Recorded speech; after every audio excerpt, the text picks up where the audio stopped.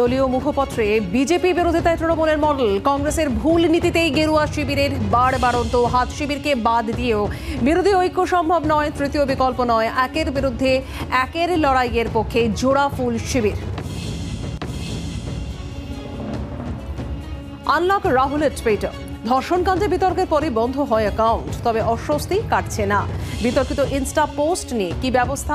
Facebook কর্তাকে তলব, জাতীয় শিশু অধিকার সুরক্ষা কমিশনের।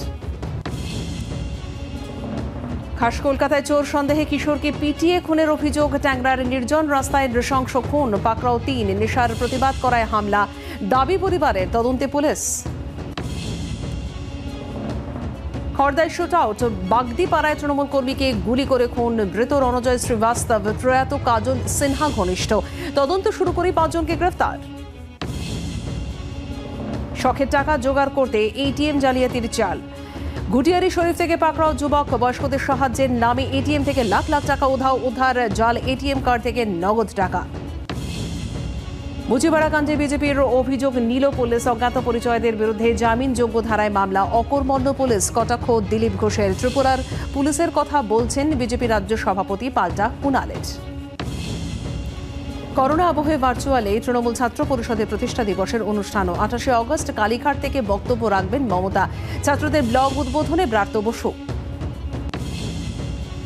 কাবুলের কাছাকাছি পৌঁছে গেল তালিবান। যে কোনো সময় আফগানিস্তানের রাজধানীর দখল। ফৌজ পাঠালে ফল হবে মারাত্মক। ভারতকে হুঁশিয়ারি তালিবান মুখপাত্রের।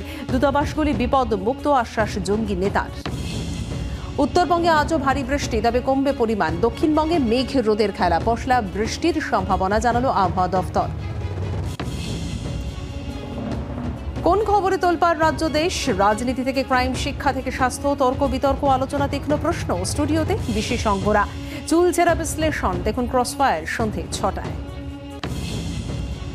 আপনার মত, আপনার দাবি, আপনার অধিকার, সবচেয়ে মূল্যবান আপনার রায়। শেষ কথা বলবেন আপনি। দেখুন, আপনার রায় রাত আটটায়।